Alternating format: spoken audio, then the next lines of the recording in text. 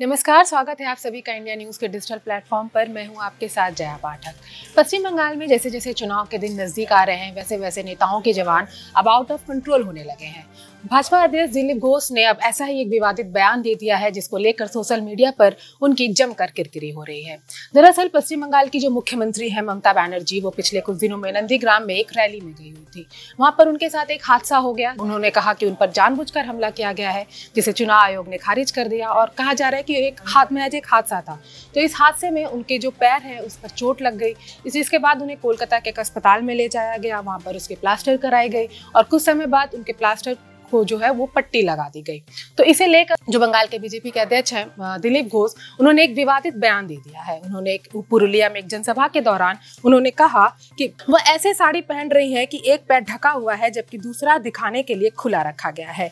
किसी को इस तरह साड़ी पहने नहीं देखा। उन्होंने कहा, अगर उन्हें दिखाने के लिए पैर का प्रदर्शन करना है तो वह बरमुडा पहन सकती है। इससे ज़्यादा बेहतर तरीके से नज़र आएगा। फिर क्या था?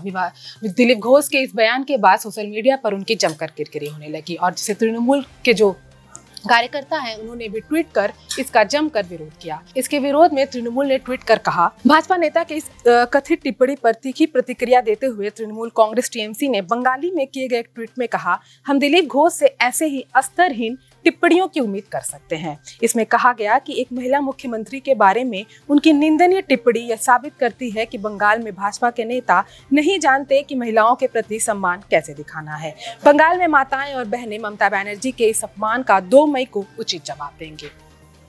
हम आपको बता दें कि ये जो बयानबाजी है, ये कोई आवेश में निकली हुई बात नहीं है। ये दरअसल बीजेपी की सोची समझी रणनीति के तहत ही की जा रही है।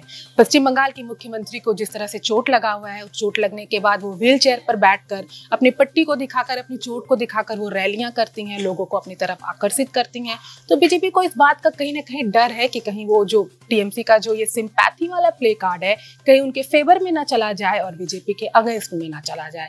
इसी को समझते हुए बीजेपी के जो स्टेट लीडर है, उन्होंने एक तरह से ये कमान ले ली है वो बंगाल की जनता के मन में ये बात गहराई से डाल देंगे कि जो मुख्यमंत्री ममता बनर्जी हैं, उन्हें कोई चोट नहीं लगी, वो बहज एक दिखावा कर रही हैं और उन्हें ऐसी कोई चोट उन्हें लगी नहीं है, जिससे वो सिंपैथी कार्ड जो ममता सरकार खेलना चाह रही है, इसमें वो विफल हो जाए।